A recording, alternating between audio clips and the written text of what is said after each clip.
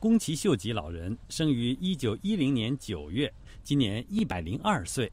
二零零九年，也就是博尔特打破一百米和两百米短跑世界纪录的那年，宫崎作为年龄最大的选手，参加了专门为老年人设置的田径锦标赛。二零一零年，他在一项比赛中以二十九秒八三的成绩，正式成为世界上跑得最快的百岁老人。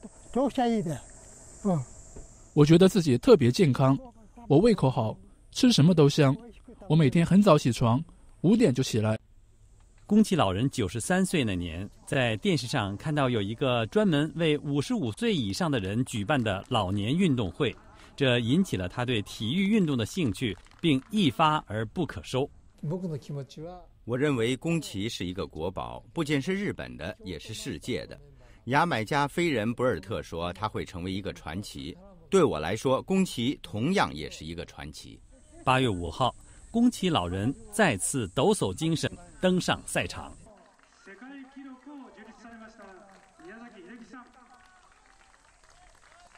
这天，他的百米成绩是三十四秒。